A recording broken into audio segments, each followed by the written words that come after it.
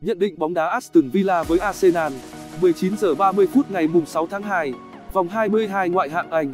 Sau thất bại cay đắng trước Wolverhampton Arsenal đặt mục tiêu tìm lại cảm giác chiến thắng trong chuyến hành quân đến sân của Aston Villa ở vòng 23 ngoại hạng Anh. Cập nhật thông tin trước trận đấu, Tỷ lệ kèo. Cảm ơn các bạn đã quan tâm theo dõi.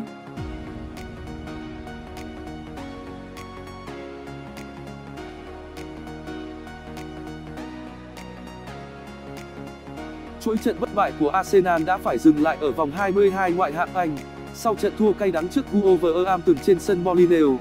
Giờ đây pháo thủ vẫn đang xếp thứ 10 nhưng không thể chắc chắn vị trí của mình bởi đang đá nhiều hơn các đối thủ xếp sau. Việc có một khởi đầu quá tồi tệ khiến Arsenal lúc này dù đang có những dấu hiệu trở lại nhưng vẫn còn cách quá xa nhóm dự cúp châu Âu.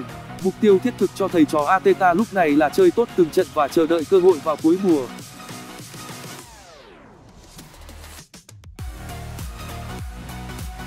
Bên kia chiến tuyến, Aston Villa vẫn đang có một mùa giải hứa hẹn, dù cho phong độ của họ lúc này đã không còn được như hồi đầu mùa. Dẫu sao, nếu như chơi đủ số trận và có những kết quả thành công, cơ hội cạnh tranh vé dự cúp châu Âu vẫn là rất sáng sủa với thầy trò xin đai chế.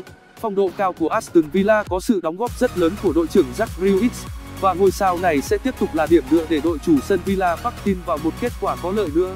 Trận lượt đi trên sân Emirates ở mùa giải này, Aston Villa đã gây sốc khi đánh bại Arsenal tới 3-0. Pháo thủ chắc chắn muốn đòi nợ, nhưng việc thiếu vắng đi cả David Luiz lẫn Bernardo có thể sẽ khiến họ gặp nhiều khó khăn. Dự đoán tỷ số trận đấu: Aston Villa 0-1 Arsenal